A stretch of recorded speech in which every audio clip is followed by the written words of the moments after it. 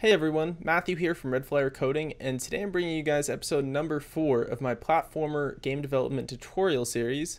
In the last video we left off with a player that can move around left and right, jump and fall due to gravity. It looks silly because they can just jump unlimited times, but once we have uh, collision detection that'll be fixed.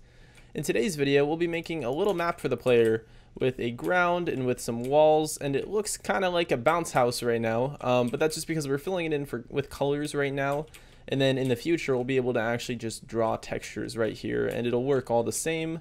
Um, so this would be like maybe like a grass texture or stone or whatever. And this one could be wood or it could be something else.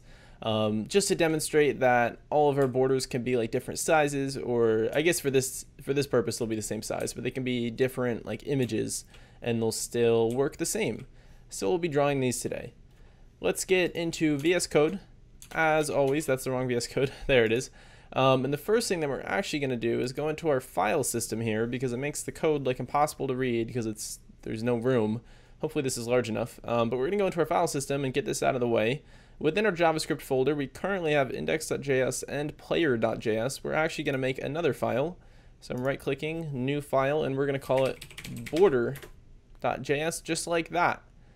Okay, there we are. We have our border. Um, let's do some setup here really quick pull it up there. We're going to say function border x, y, width, height, and type, just like that.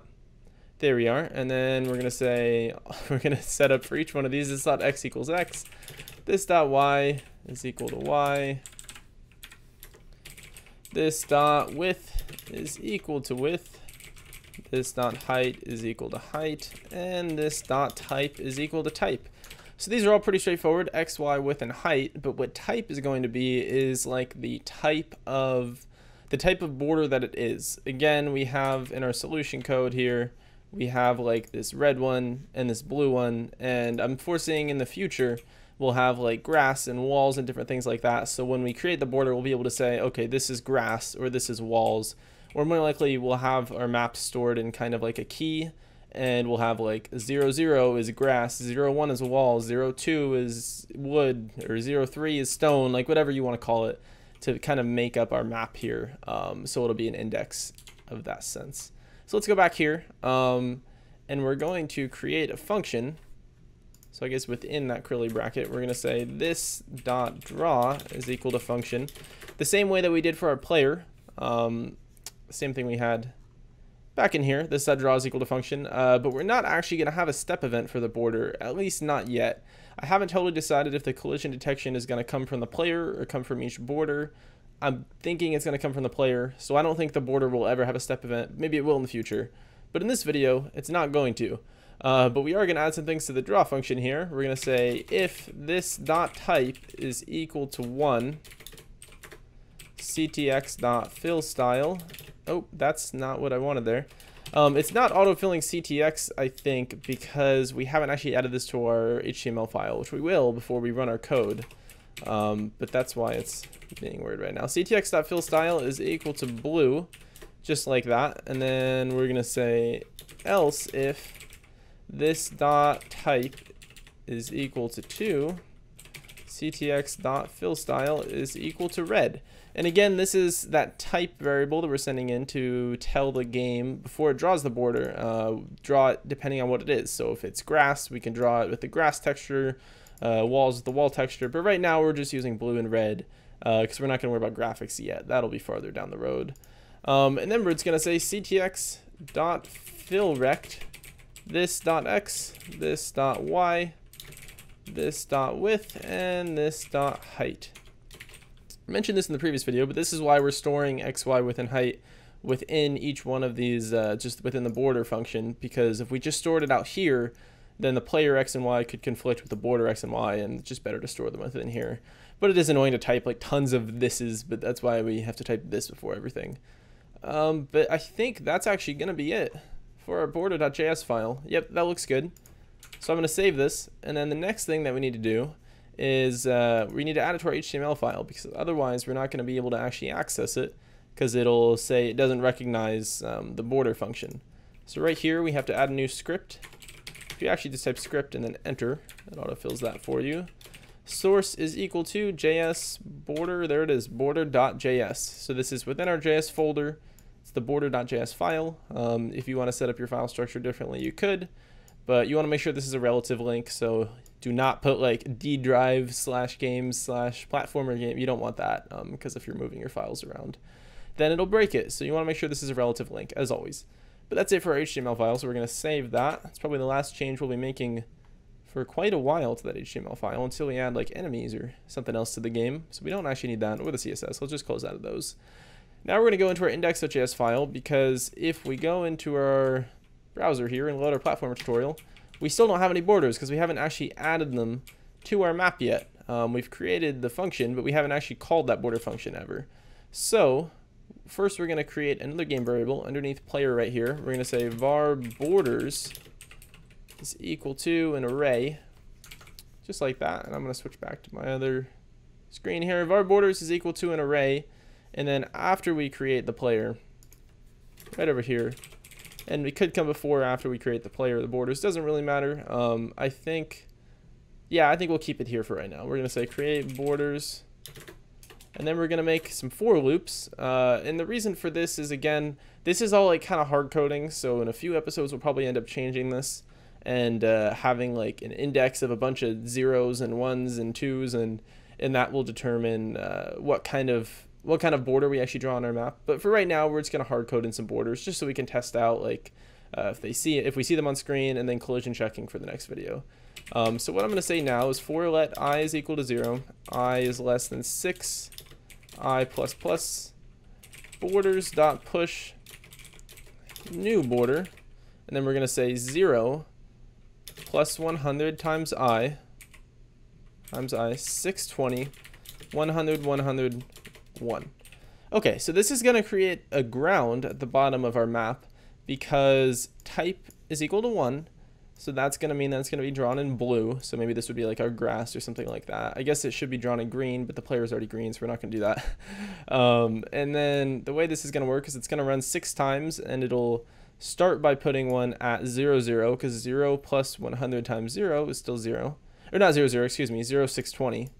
The x-coordinate will start at 0. The y-coordinate will start at 620, because remember our canvas is 720 tall. So 620, 0 will be like right here and then it draws this way. Remember all of the coordinates, they start in the top left and they end in the bottom right. So it'll draw one here, and then it'll draw one here, then it'll draw one here, and it'll draw six of them, just like that. So I guess we could save this and refresh the page, and we don't actually have our floor yet. Oh, you know what? We didn't actually draw them. of course. Okay. Uh, I guess to actually draw them, we have to scroll down here, and after we draw the player, we have to draw the borders because uh, we have to call that draw function within the border. So we're going to say for let i is equal to 0. You guys already know I don't like for each. i is less than borders dot length i plus plus. It all works the same. Borders i dot draw. Now I feel like I should use a for each function just to prove that I know how to do them, but nah, maybe the next video. Okay, we'll save that and go back here. And there we are. Now we have our little floor right here. As you can see, of course, we can still fall through the floor um, because we, not, we haven't actually set up our collision system yet.